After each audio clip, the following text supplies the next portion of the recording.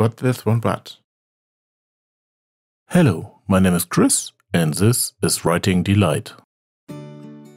Today I have a fountain pen from the brand Festina here, which we will take a closer look. Festina is to some perhaps a name as a watch manufacturer, originally from Switzerland. Now we have from Festina here the fountain pen Classicals Chrome Red, because Festina now also carries a small selection of stationery. And this fountain pen was thankfully provided to me by the company free of charge for this test. As always, without influence. The fountain pen is packed in this box, which has another case made of cardboard. The box is hinged. The fountain pen is held securely in here. The inside of this box is soft and flexible. It looks noble and keeps the fountain pen safe and protected. The fountain pen in this version is striking, because already its red exterior catches the eye, but also the silver decorative elements provide a good and, in my opinion, pleasant contrast. The cap is divided in two parts. The lower part is red, the upper part is silver. The clip also starts from here. The Festina logo or crest is engraved on the back. Just below the cap is a silver decorative ring on the barrel this barrel in turns end in a silver finial. Embossed in the decorative ring is the word Festina. Underneath plugged and well-fitting cap is a silver grip section and stainless steel nib.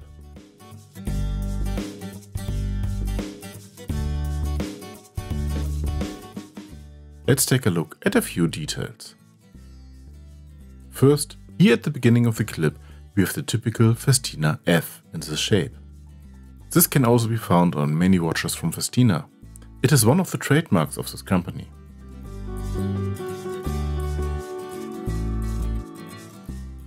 The back in the silver cap part is engraved the official Festina logo. A logo which is also a crest. Here we can see the nib in exact details as usual, and also the markings on the nib but little more about that later. The slightly offset look through the hole of the ink feed is not bad.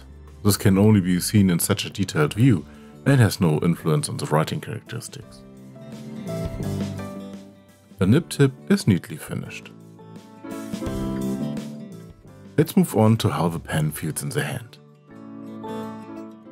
It's very comfortable for my taste, balanced, we don't have any particular emphasis here on the nib or on the end.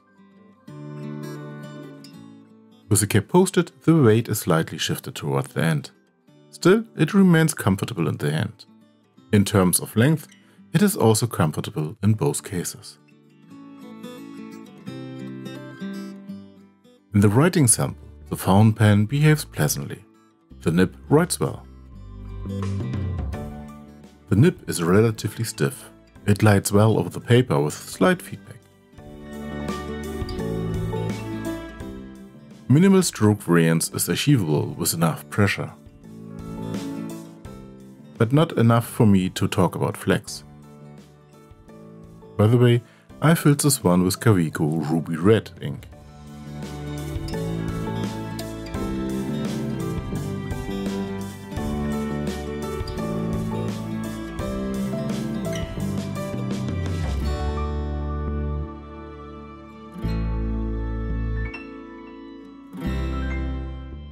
Overall, I can say that the fountain pen is quite pleasant to write with.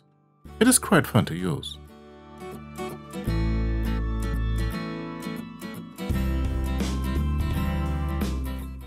But let's take a look at the fountain pen compared to other pens. I have the fountain pen here with the Visconti Homo sapiens, a Hahnemühle Bold, a Waldmann Commander, a Lamy Studio, and a Lamy Safari. The fountain pen is well in the field here.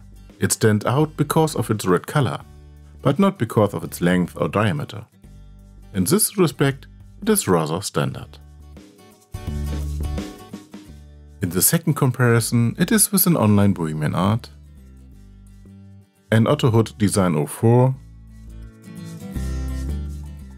a Cleo Skribent Aura Laguna Dragon, a Pelikan M800 Blue Blue, and a Cross Townsend. Again, the fountain pen is well in the middle of the field. It does well in both comparisons. Now, the Festina company is not the big brand in the stationery sector. I'm sure we are all aware of that. But it doesn't have to mean anything. There are many small brands that make great writing instruments. Is Festina one of them? I'm a little torn on that. Now, of course, Festina is not a small brand per se, but in the stationery space it is. And I like the look of the fountain pen. The workmanship itself is actually good too. But there's one but. The nib. It writes reasonably.